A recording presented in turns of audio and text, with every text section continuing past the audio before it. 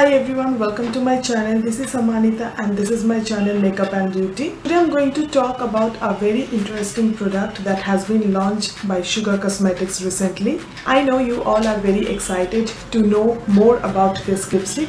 So just hold on your breath and keep watching this video. So Sugar Cosmetics has come up with a new range of lipstick which is known as Click Me Up Velvet lipstick and Sugar Cosmetics is the first Indian brand to come up with Click lipstick. These lipsticks are priced rupees 6.99 each and you will get 2 gram of product and there are 10 different shade in this range and today I'm going to swatch all of them. So without further ado let's just see the swatches first.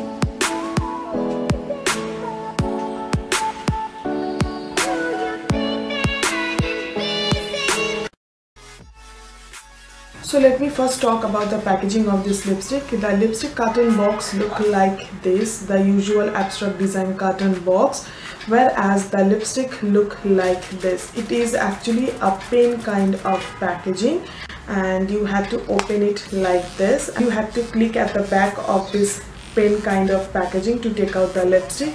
All you have to be a little careful during clicking because once this lipstick is clicked out it can't be pushed back. So you have to click a very little amount at first and then you have to apply the lipstick. And if you feel that you need some more lipstick then click again for two to three times. In this way you can use this lipstick very easily and, there is no chance of wastage of any lipstick. So this is actually the specialty of the packaging. Now let's talk about my experience using this lipstick these lipsticks are matte velvet kind of texture. Once you apply it on your lips, you will feel like you have applied some lip balm. So it has that kind of velvety texture. These lipsticks are medium pigmented for which they need 2 to 3 swipe to get that coverage on your lips. Although I feel like the application of lighter shades are very even on my lips whereas the dark shades look little ombre on my lips. If you notice carefully, you can see that right now I am wearing a dark shade and you can see that the inner part of my lips is little light compared to the outer part of my lips. I don't know why, but all the dark shade look like little ombre on my lips whereas all the lighter shades look pretty well on my lips. And yes, these lipsticks have a mild rose fragrance which vanish immediately after applying the lipstick, although you can smell the fragrance from the bullet of the lipstick. The lipstick claims to stay for 8 to 10 hours but on my lips they stays pretty 5 to 6 hours and after 5 to 6 hours they started fading and they turn like a lip stain on my lips which I love to carry for one or two more hours but as I am not a lip stain kind of person so after 5 to 6 hours I prefer to reapplication of this lipstick. The lipstick is not transfer proof. I have applied this shade number 01 for past 2 hours and let me show you how it is right now